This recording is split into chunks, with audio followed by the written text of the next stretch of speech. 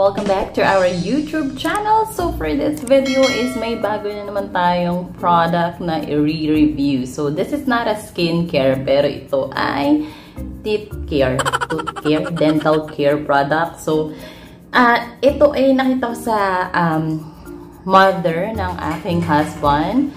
At na-curious ako dahil first time ko lang tong nakita or for, I mean, nakita ko na siya before. So, first time ko siyang itatry.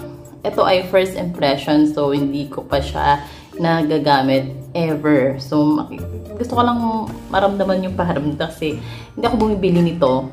One time nakita ko bumili yung mother ng aking um, husband na bumili to dahil buy one take one daw. Ito yung ma tinignan ko sa Shopee, ito ay worth 27 pesos. So, try na natin. So, ayun na nga, no? Pumunta dito yung aking neighborhood na si Divine at Vacation and Chocolates because today is my birthday. So, ayun na nga, going back. Ito na nga siya. Ang itsura niya ito. Sa, wala siyang masyadong details. Ang nakalagay lang dito ay 100% natural teeth whitening, activated organic charcoal, uh, whitener, detox, detoxifier, and yung isang ganitong um, lalagyan ay 30 grams. So, tignan natin. Tapos sa shopping nga, 27 pesos lang siya. Ewan ko kung anong brand nito. Wala akong nakita dito. Wala rin akong instruction na nakikita. So, teeth whitening.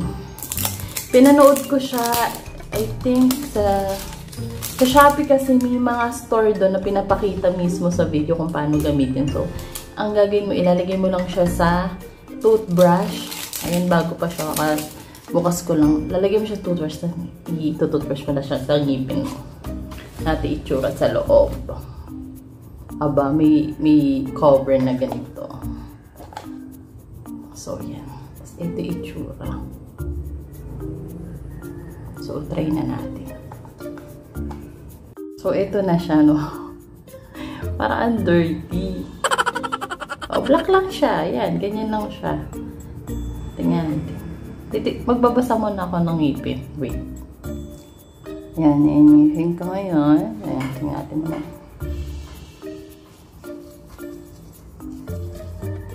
Ang garo ko ngayon.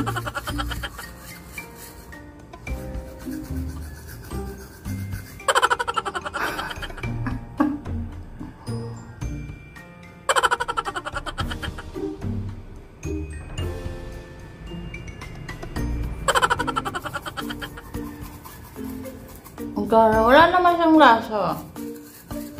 Pero parang, ano, sobrang fine ng powder. Tapos parang nagdadry ang bibig mo.